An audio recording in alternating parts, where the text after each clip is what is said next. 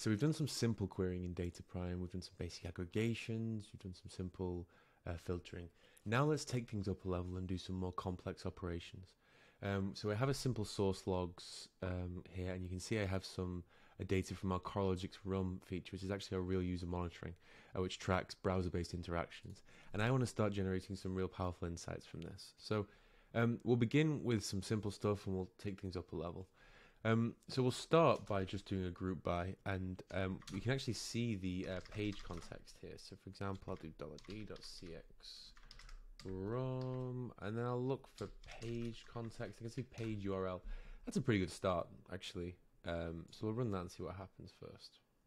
So we can see we've got a bunch of different pages here. So these are all the different pages that customers are loading on the Coralogix app. So okay, cool, that's that's interesting. But what can I do with that? Um, first of all, I can count um, the number of rows because I know that's uh, the page hits. So instantly, um, I've got something interesting there. So I'll call that $d.page hits, for example, like this. So now I know the number of page hits I've got. And what I'll do is I'll maybe I'll move this. Now the, the ordering of the columns doesn't persist between queries, but you can move the columns around as you go, and it helps you just discover things a little bit more easily. So you can see here that you have uh, page hits. So now we know uh, the activity of each different endpoint and how often these things are coming up. That's pretty nice. Um, but the thing with uh, aggregations and, and, and, grouping and things like that in DataPrime is you can do multiple aggregations. So you can kind of build up these really intelligent reports as you go.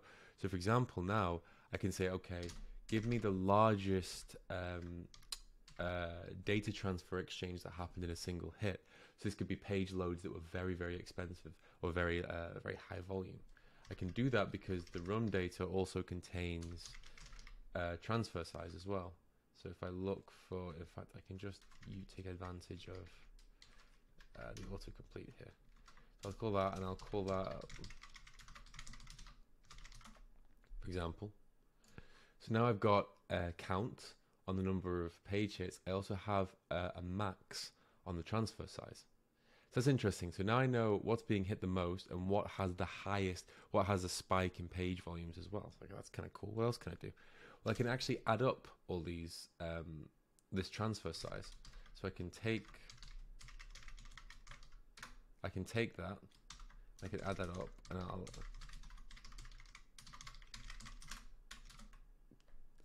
that here. So now I have a count, a max, and a sum all in the same query. Um, and again, we can just reorder these columns if we want, and we have the page here, the number of hits, the largest page size, and the largest single request, and the total bytes that have been exchanged. So you can see here, for example, this has 6,000. There's a huge volume of bytes exchanged there. Um, now this bytes exchanged, let's say it's in bytes.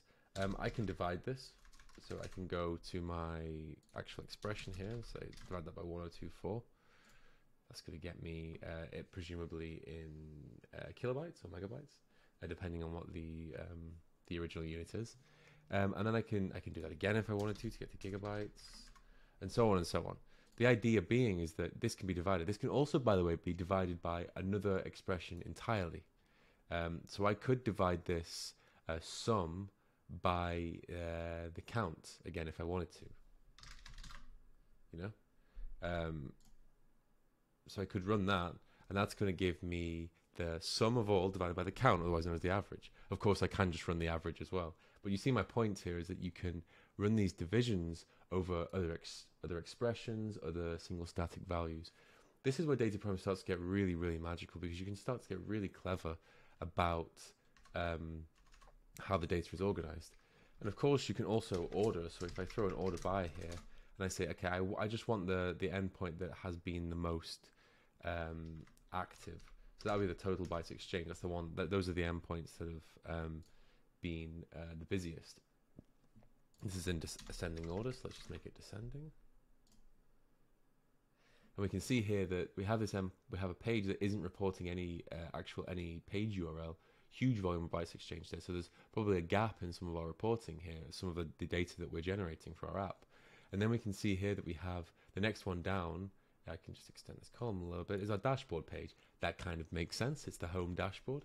Um, and then you can see here there's a, a, huge volume. So what we can do is we can actually break down all this HTTP traffic into a report of which pages are loading, which pages have the largest uh, footprint, which pages are seeing the most activity, and so much more, all in a single query. The beauty of this is because we did the group by, we, we started with a very, very large volume of logs, but actually, in terms of rows, it's only 1,116 rows now. I could go further and start to mask, because you can see here, for example, we have different IDs in the um, in the URL. I could use, for example, the redact function to hide these IDs and actually break it down to the original feature, the, the first slash, if you like. So that's really nice. Um, so the power of this is that you can you can actually run analytics on a huge volume of data within the Coralogix platform using DataPrime, rather than exporting a huge volume of data from Coralogix. This is like the real magic of DataPrime, in my opinion, joining together multiple different functions and different aggregations to create the exact report you need without ever leaving the context of Coralogix. And then, of course, you can you can export this data. You can do whatever you want with it after that. You can create alerts around this data. It's very very powerful. Um, but what it means is that you can um, you don't context switch. You don't jump around. Instead, you just do your analytics inside of the Coralogix platform using DataPrime.